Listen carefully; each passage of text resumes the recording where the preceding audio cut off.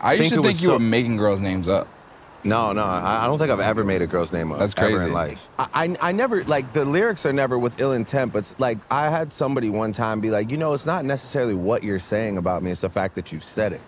Uh, What does that mean?